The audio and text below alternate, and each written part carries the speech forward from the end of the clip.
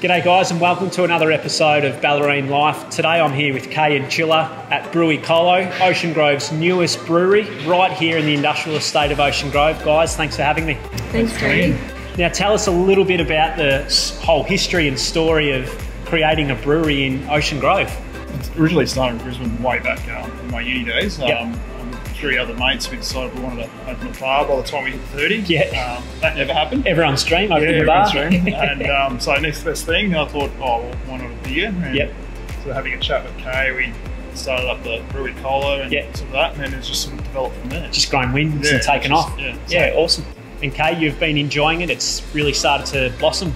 Yeah, it's really good. We um, it's tough work. Yeah. A lot of hard work, but um, we're enjoying it Yeah. and the, watching the development and the beer and um, the community support has just been fantastic. So we're really enjoying it. Yeah, and you grew up in Ocean Grove, Kay? I did, Yeah. yeah. So I was born and bred in Ocean Grove. Yeah. Moved away for a couple of years, Yeah. like most people, Yeah. and then now back here with a uh, young family and a community business. So it's basically just a mum and dad operation with the two of you operating the whole system. How does that all work out?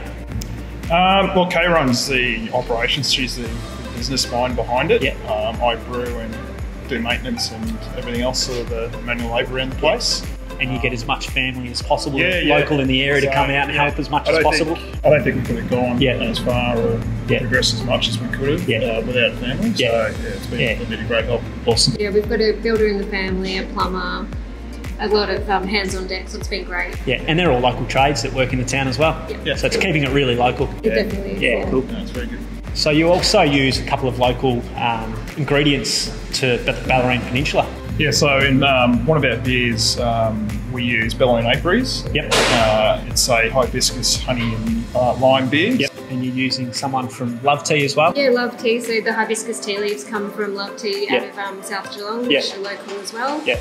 Um, and we also have uh, food trucks here as well, regularly um, that are local, Yeah, generally local food trucks. well. Yeah. And you've got a little bit of an environmental conscious as well. You're, you're sort of supporting a few different causes and you're doing a little bit of a recycling program at the moment. Yeah, so um, our spent grain that we that comes out of the, the brewing process, uh, we give that away um, to a local farmer who's supporting the drought uh, drought affected farmers in New South Wales. Yep. Um, he looks after a lot of their calves from up there. and, Yep. Um, I just we just sort of give them some grain to help out along, and Yep. yeah, it goes well. So, Chilla, tell us quickly about the process of how many beers you're making or how many kegs you're putting out per week and, and the support where you're getting all that from and where you're sending it to. Uh, yep. So we've got at the moment we've got six beers on tap. Yep. Um, looking to progress that to eight. Yep. Uh, we've got a few ideas about some festival beers in the process. Um, but yeah, everything's sort of done here. Yeah. Um, Inside. And how many sort of kegs roughly do you think you're making? Uh, so each batch here that we brew Yep. is a thousand litres. So, Yep. and So each one of those. Yep, it's a thousand litre Solid. brew house. Yep. Um, that's a 20, it's 20 kegs or 136 cartons. So you're supplying beer to local venues as well.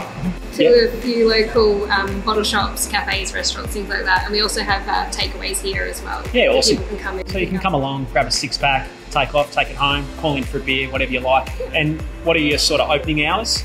So we're at the moment we're Thursday, Friday afternoons, evenings, and Saturday and Sundays. Yeah, awesome. Nice. And the rest of that time, I suppose, is brewing time. Yeah.